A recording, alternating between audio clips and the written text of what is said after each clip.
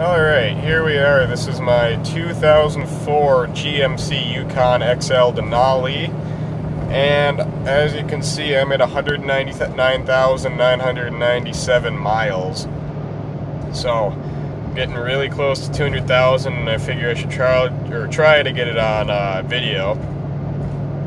Can disregard the tire pressure sensor. Um, I replaced with a regular valve stem because it was leaking, so I'll deal with that later. Uh, airbag light's been on for quite a while, so disregard that as well. I bought this vehicle in, I want to say March. It, uh, it was a company vehicle, belonged to the company my dad works for.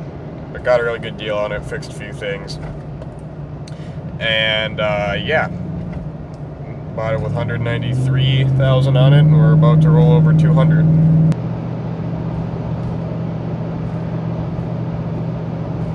200,000, there we go. See if we can make it to 300,000. All right. There we go. 200,000 mile Yukon.